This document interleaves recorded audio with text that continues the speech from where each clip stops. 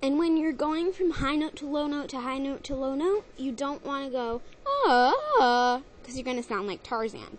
You want to make yourself you want to make it more smooth and sound like ah, ah, ah kind of hitting those notes in between as you go, but not emphasizing them.